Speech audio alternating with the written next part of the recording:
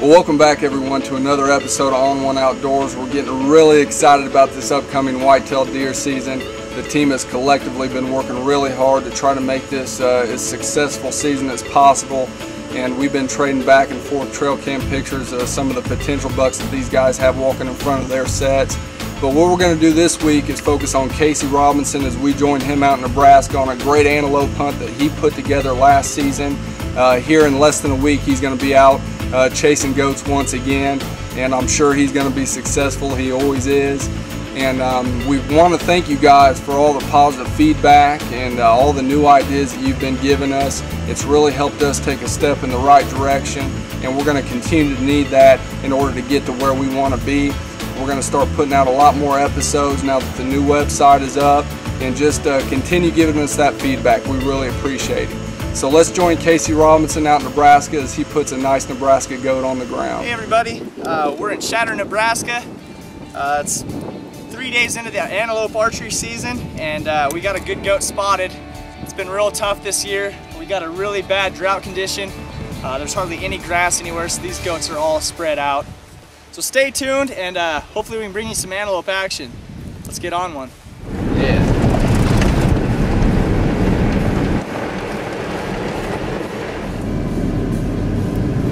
Turkeys! love shattering. We found a buck that's kind of by himself, so we're gonna try to sneak around the edge of this, the top edge of this, and uh, you know he should be like right down below us. It should be a fairly easy shot. We just gotta get up on him, and hopefully we can get on one. So stay tuned, guys. All right, so uh, we're gonna try to get up here to this bush right here at the point. The buck should be around the corner just there, so we're gonna try to work up here and uh, just get there, see where he's at. Not very big, but I might take him. Okay. He cocked his head up. I think he smells us. The wind's going right to him. But yeah, the He's probably 60, 70 yards. He's shootable right now. You can peek around the corner, maybe see him. Slowly.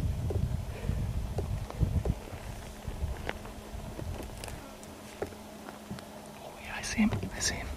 Okay, okay, I see him. Might have caught our movement.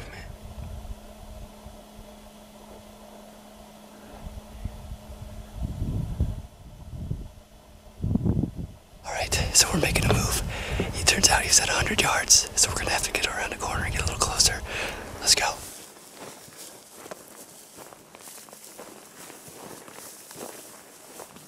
He's up. Draw, draw. Come up. Are you ready? Yep. No way. And he's gone. Far. Oh, hang on, hang on. Hang on. Me? Yeah. I had a range, man. So, after that long, dramatic spot and stock episode, this is how it ends. People say that goats can't smell it. That was a perfect example. We had the flawless stock. We barefoot right now, no sound, and we came up behind this little ledge perfectly. And there's no way he could have saw us. He was high alert. He could smell us. That's all it comes down to. And 55 yards is what we got for our first stock for the day, and that's pretty impressive for for us. I mean, for anybody, I guess. It's just getting to 50 yards on a goat. It's it's awesome, and it's so sad we didn't close the deal. It's all about that last percent. I mean, you can get 99% of the way there. It's that last percent, and we are almost there.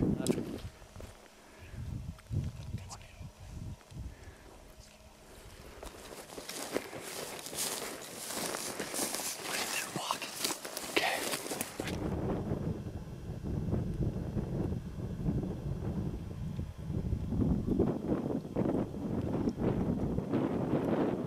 Dude, I might try it. Okay, he's feeding again. We're okay. We got this goat. Um, we went down the draw a little bit.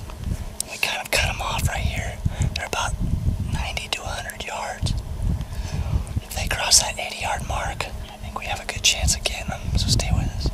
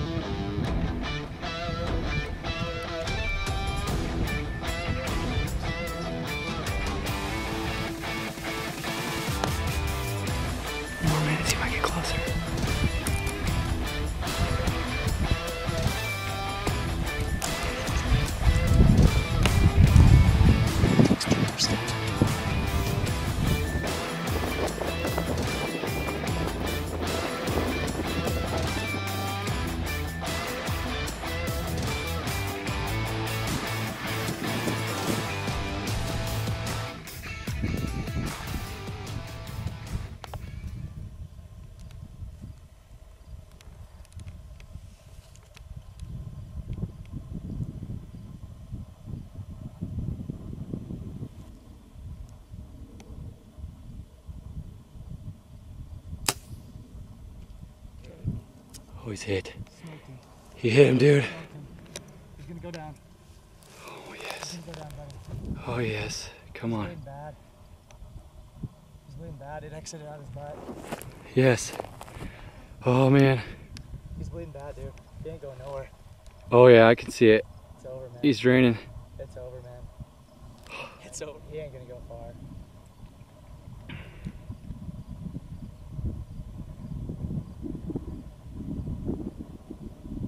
We'll, go let- we'll- we'll just watch him. Yeah. He'll go down. Yeah, he heard it. He'll be alright, dude. He's bleeding horrible. We really don't have any other goats to go after right now, so I'm gonna pick up the blood trail here on mine. He went a long ways. The shot was not as good as I thought it was, but you know, you can't help. Sometimes they jump the string and that's just what happens. But there's good blood. I'm following a great blood trail right here. So he had to have ran out of gas eventually. So uh, we'll pick up this trail and, and see what we can find. The goat finally expired. Finally just gave up. Finally. Finally, finally. Let's go see what it looks like. Everybody, here he is. this is probably the hardest goat I've ever had to work for. Last night, we did a great job stalking into this goat. Uh, a little bit of wind. I might have been shaking a little bit, might have pulled the shot a little bit. 80 yards on the dot. I practice this range all the time. Very capable of making that shot, but for whatever reason, he heard the shot, wheeled, and it caught in the back end here. Uh, a lot of blood poured out. Uh, we did the best thing we could, backed out, let him have time overnight. Went back today uh, where he bedded the night before, wasn't there, so he got up and moved. Well, I went just a little bit over this bull and he got up, so he was still kicking yet. And I kept with him. We probably ran close to half a mile, and I just, you know, kept going. He was really losing power, and you know, we always try to strive for a quick, humane kill. And you know, sometimes things happen, but the best thing you can do is follow up on your shot. Make sure you do the respect for the animal, and make sure you take him out. Uh, and that's what we did. I finally got a shot. He finally laid down and gave me a shot, and he was done within seconds. So, first weekend, 2012, and uh, here's a beautiful pronghorn antelope here in Chadron, Nebraska. And thank you, God, for giving me a chance to hunt these beautiful animals. Now, uh, we got to get Justin to goat, and in another two weeks, we're to be hunting deer. So stay with us. We got on one.